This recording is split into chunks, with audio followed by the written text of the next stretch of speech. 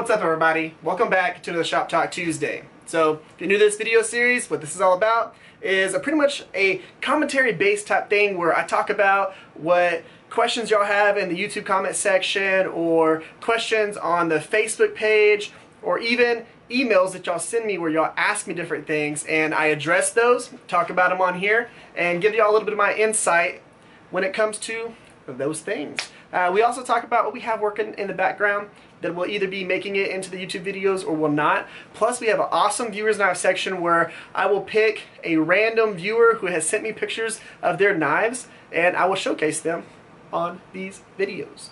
Now, when it comes to the thing that we should talk about in this video, it's actually something I've been asked a whole bunch. And I've addressed it a little bit here and there in other videos months ago, but the main question is how do I choose what steel I use and why do I use those particular types of steels? Now, when it comes to how I choose them, I choose what is available and what is pretty easy for me to get and what I can do with it and how I can heat treat it. Now, when it comes to things that I use on a pretty consistent basis, I use 1080, 1084, 1090, 1095. I use O1 tool steel. Uh, I use 5160, 80 CRV2. I use those because with my setup, it's pretty easy to be able to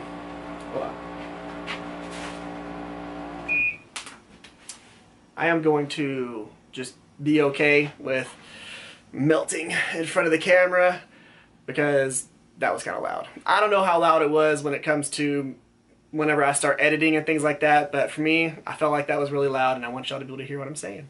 Now, uh, when it comes to me choosing steels and things like that, uh, I go with, again, what I know I can work with and what I can do with the tools that I have.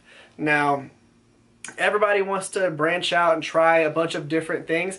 I get that. That's cool. I will eventually start doing that stuff, but I would prefer to have the right tools to be able to use those things. So you will not really ever see me use stainless steel. Mainly because stainless steel is super finicky. You need a heat treat oven. Uh, there's a lot of people that do cryogenic stuff with them. I, I don't have any of those things. I've got a forge and I've got a one gallon bucket of peanut oil. That's how I treat, heat treat my knives. That's it. So I'm going to use steels that are able to be heat treated with that setup. And I'm just going to do that. Now, eventually, will I get a heat treating oven? Yep. Will I get the other stuff? Yep, I will. But I don't have that right now. So I'm going to work with the steels that I am used to. Now, there's a lot of people that have tons of different stool or like styles of tools and stuff like that. Uh, I almost said stools. Uh, they might have stools. I don't know. I got a little chair right there. But uh, they have different styles of tools and they still end up using 80 CRV2 and still end up using 5160 and 1095 and stuff like that even though they can easily do stainless steels and do all of those things. They just choose not to. So it is what it is. Uh, still stuck on the stools thing. Um, so when it comes to like me utilizing those things, it is all about, again, the tools that I have. And what I would suggest is that if you're going to get into knife making, pick a steel that is within the realm of what you can work with and go with that. If you don't have a way to heat treat, use files because all you have to do is worry about uh, tempering those. You don't have to heat treat them as long as you keep them cool enough to where you don't mess with the heat treat that's on them. And then you just temper them down and you're good. Uh, if you have access to a small forge and some peanut oil, something like an ammo can forge like I have, where you just use a torch on the side of it with some MAPP gas or propane, you know, make sure you're making smaller knives and then make sure that you're using something that isn't super finicky when it comes to heat treat because you might not get the best overall heat on the blade before you go into the peanut oil. So use the right size of steel and the right steel to be able to, you know, get a proper heat treat on it. And then whenever you upgrade to a bigger forge, you can do some more finicky steels because you'll be able to actually control the temperature a little bit easier than whenever you're just using a little torch inside the when it's blowing the heat into the chamber. You know, whenever you get a bigger forge that has a larger burner or multiple burners and you can actually move that steel in there and keep your heat how you want it and consistent as you're doing it, that's different. You can start using more finicky steels that require heat cycles and things like that. But when it comes to uh, all of the stainless steels and all that stuff, whenever you have a, have to have a heat treat oven, I wouldn't suggest that right off the bat you decide, you know what, I'm going to get into knife making, and then you just go buy a heat treating oven. You're crazy. Don't do that, and don't go straight to a 2x72. That alone, you, you could buy those two things right there and spend $3,000 like that. You're crazy. Don't, don't do that. Don't do that at all. because you might not like making knives. so you just spend all that money and you're not going to get that money back out of those tools. So don't do that. So what I suggest is, again, whenever you're going to go and you're going to pick your steels, pick the things that you're comfortable with and pick the things that you can easily work with with the tools that you have. And if you've got to invest a little bit of money in tools to be able to work on that particular steel, do something that has the least amount of investment possible. Something that you can make.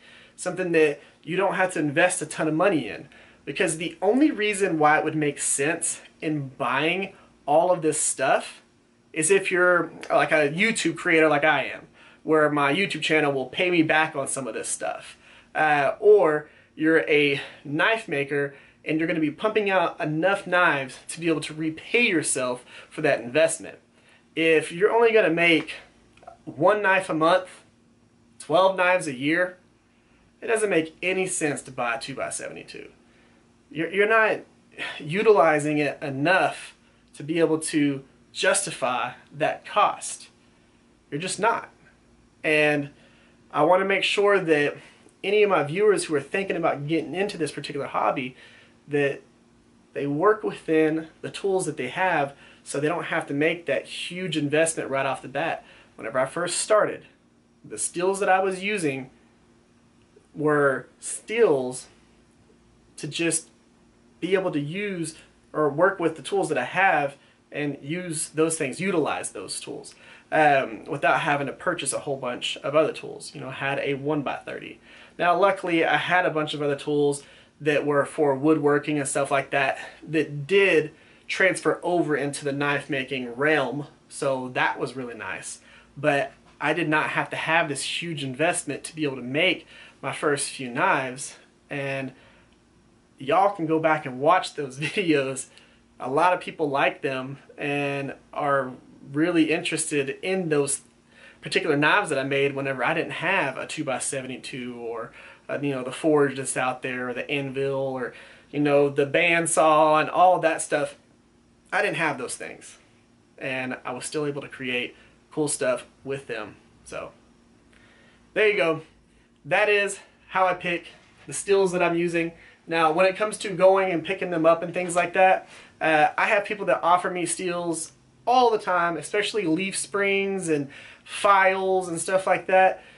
If they just find them at swap meets or at uh, estate sales and stuff like that, they message me and say, hey, you want me to scoop up this stuff for you?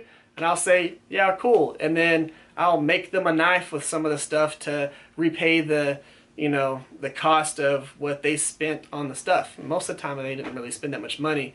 Uh, but, you know, I'll still make them something cool to offset that cost if they don't want any money from me. So it is what it is on that. But uh, that's how you know, I come about my steels and how I go out looking for them and what I'm looking for. It's stuff that I can easily work with within the tools that I have. And that's what I suggest y'all to do. Now, when it comes to what we have working in the background, we got all kinds of things working in the background. We got a video that I'm going to be releasing that's talking about turning leaf spring material into uh, bar stock for knives. Now these both have textures on them and I'll give y'all close-ups of those in that video but it's basically how I turn my leaf spring material into knife blanks or not really knife blanks I would say uh, bar stock uh, so that I can then cut them out and do my stock removal and all that stuff with them but how I forge them flat how I texture them with the forging and all that stuff I'll show y'all that in that video. Now when it comes to another thing that I'm working on, of course this one right here, uh, working on that, I am going to end up showing uh, the process of me finishing this on one of the videos as well. Uh, and then we have, of course, this guy right here that we're working on. And I'll be finishing this video uh, here soon. So we'll be getting all of this shaped and all that. And then we'll do a video where we actually sharpen it and slice some things and do all that fun stuff. But this is going to be awesome. It's actually a lot lighter than I thought it was going to be. Um, so we've got that coming up, plus the 80 CRV2 really thick chopper that we're going to be working on here soon, and a few other knives. You know, maybe utilizing this 5160 right here. Uh, now, uh, what I want to jump into is the viewer's knife section because the knife that I'm going to show y'all today, uh, I, I've shown a few of his knives and you can see how his work has progressed as he's been doing this, but Dave Sizemore, I'm pretty sure y'all are used to his name by now because he is actually the person that sends me the most pictures of his knives and I ask him to do that because he does really good work and this is a guy who's only been making knives for a little bit of time and he doesn't make a bunch of knives but the knife that I'm going to show y'all in this video y'all are really going to like he did a great job on the knife plus the sheath and all that, but we're going to go ahead and cut away so y'all can actually see that full screen. I'm going to talk to y'all while we're actually doing that, but let's go ahead and cut away now. Well, a little bit of info on this knife. It is O1 tool steel that is 3 16 of an inch thick. It's 8.5 inch overall length with about a 4 inch blade. Now, this one has Cocobolo wood scales with black G10 liners black micarta pins with a nickel silver lanyard tube and a leather cord lanyard with a wooden bead and then of course a leather sheath that he made as well. Absolutely beautiful how this whole package turned out. I really like it well guys what did y'all think about Dave's knife I mean that thing was absolutely beautiful the shaping of the handle the way that the blade was the profile the leather sheath, all that stuff. Really like it, guys. Y'all tell him what y'all think about that in the comment section down below. I'm sure he would be pumped to hear what y'all think about it. Guys, that's pretty much the end of this one. Uh, if y'all would, okay, if y'all would, if you're a knife maker, send me pictures of your knives. I don't care if it's your first, your fifth, your 15th, or your 50th. I would love to see them and I would love to be able to show the guys everything about them and be able to put your name out there. You know, there was a uh, there was a person in one of the bladesmithing forums that said, you know, how do I get my name out there? How do I get people to look at my knives and look at my things so that I can then end up selling them? What are the ways do y'all do it? Do y'all make Facebook pages, YouTube channels, Instagrams, all that stuff? And I always say, do all of the above. But if you've got an outlet like a channel like mine where they say, hey, send us pictures of your knives so that we can actually tell people about you and your knives, it's the perfect opportunity to do it. So if you're a new knife maker, definitely send me pictures of those. Tell me a little about yourself. If you're a fellow YouTuber, link your YouTube channel in the email so that I can post that and let everybody check out your YouTube channel. Guys, that's the end of this one. If y'all would, Give this video a thumbs up, share this video or one of my build videos that I've done in the past that might be your favorite. And guys, if you haven't yet, bottom corner, hit that subscribe button so you get notified for the builds that we have coming up, and we got a lot of them. Guys, thank y'all for coming by. Thank y'all for spending your time with me. Y'all have an amazing day, Y'all stay safe. I'll catch y'all next time.